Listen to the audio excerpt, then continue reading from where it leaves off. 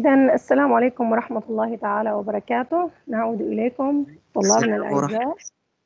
طلاب الصف التاسع في درس جديد من دروسنا آه، من دروس الرياضيات من كتاب الهندسة.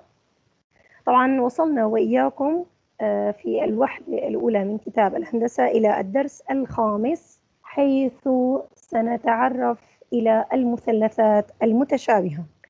لكن قبل أن نتعرف إلى المثلثات المتشابهة ما رأيكم أن نميز بين المضلعات بشكل عام؟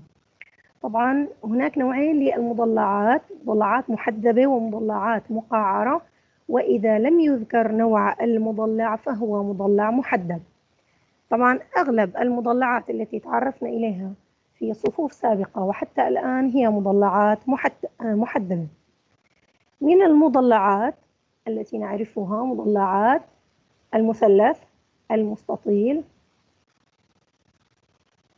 المربع شبه المنحرف المعين المخمس توازي الأضلاع. والمسدس. والمسدس أحسنت. نعم إذا هذه هي المضلعات التي تعرفنا عليها بدءا من الصف الأول وحتى وصولنا إلى الصف التاسع ما علاقة المضلعات في درسنا اليوم؟ طبعا اليوم أستطيع إدخال المضلعات في درس التشابه بكل سهولة لنرى معا كيف قبل ذلك لنرى معا الصورة التالية هذه الصورة عن ماذا تعبر؟ يا إيمان. عن ماذا تعبر عن هذه تطابق عن تطابق وتشابه ماذا ماذا لاحظت في الصورة؟ ماذا لاحظنا في هذه الصورة؟ التطابق والتشابه والطول نفسه. تمام إذا هذان توأمان صح يا محمود؟ صح أنسي. تمام إذا هذان نعم. أنسي نعم. نعم توأمان طبعا والتوأمان في أغلب الأحيان إذا كان توأمين حقيقيين فهما متشابهين تماما لدرجة أننا لا نقول أنهما متشابهين إنما نقول متطابقين وكأنهما شخص واحد. تمام. يعني قليل يكون في بيناتهم آه، نقطة علامة فارقة. علامة فارقة قليل. وأحيانا آه، بيكون التوأمين غير حقيقيين لكن مع ذلك يشبهون بعضهم البعض. لنرى معا الصورة التالية. هذه صورة ثلاثة لثلاثة من الإخوة. طبعا مهما كان العمر فارق العمر بينهم الصغير والكبير والمتوسط فنلاحظ أن هؤلاء الإخوة متشابهون يشبهون بعضهم البعض. طبعا لأنهم لنفس الأم والأب. فهم يشبهون طبعا راح يشبهوا أهلهم. ما هيك؟ يعني الأب والأم. إذا نلاحظ تشابه العيون الفم إذا هناك كثير من النقاط المشتركة لكن بشكل عام الطفلة لا لا تنطبق على أخيها الأكبر منها ولا على أخيها الأصغر منها هي شخصية مختلفة بحد ذاتها. ما يعني لا تنطبق عليه إنما تشبههم.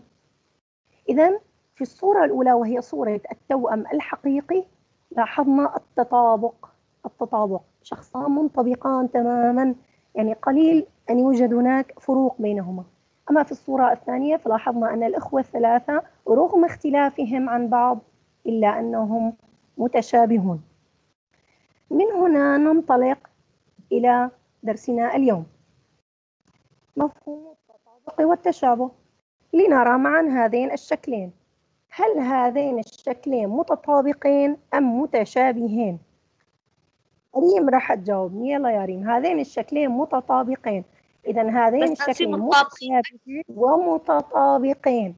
أيضا نلاحظ المثلثين التاليين وهما مثلثين قائمي الزاوية.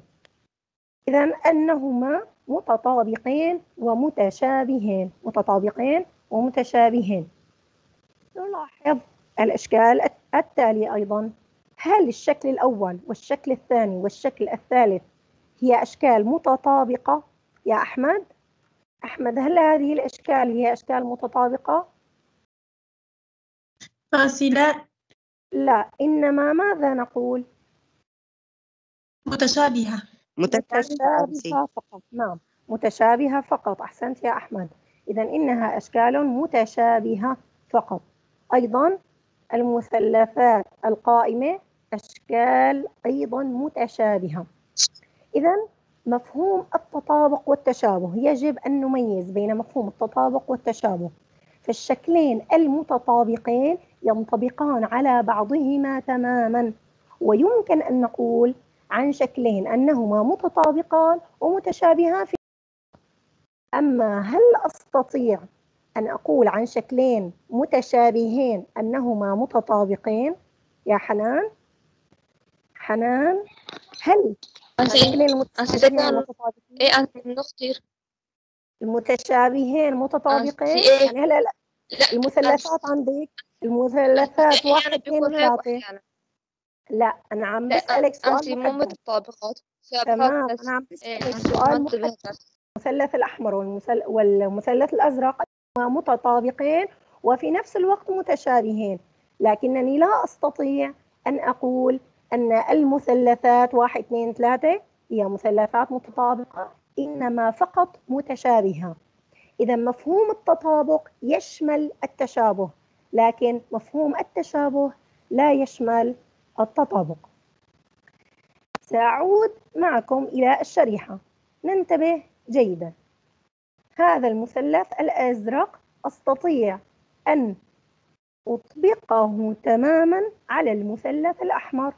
فهما متطابقين ومتشابهين. أيضا المثلث الأزرق أستطيع أن أقوم بإطباقه تماما على المثلث الثاني الأخضر. طبعا قمت بذلك بكل سهولة لأن أطوال أضلاع المثلثين متساوية. وقياسات زوايا المثلثين أيضا متساوية. أما إذا حاولت هنا بالنسبة للمثلثات المتشابهة فلا أستطيع. إذا لا ينطبقان على بعضهما. سيكون هناك مثلث صغير ومثلث أكبر. تمام؟ إذا فهما فقط متشابهين وغير متطابقين. إذا بذلك نكون قد ميزنا بين مفهوم التشابه ومفهوم التطابق.